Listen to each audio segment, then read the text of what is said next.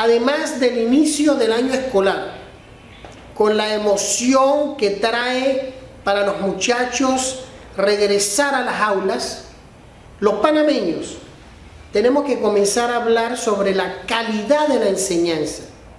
Porque tú puedes tener el mejor edificio, con aire acondicionado, con las mejores bancas, los mejores tableros, la mejor tecnología y el contenido.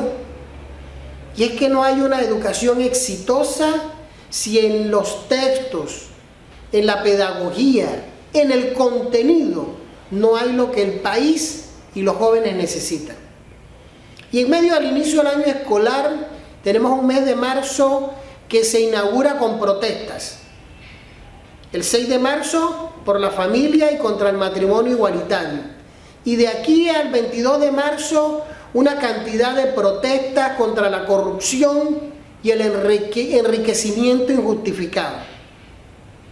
Todos deben participar, sin importar de qué lado están, con qué ideología, con qué partido. Aquí quien sucumbe es Panamá.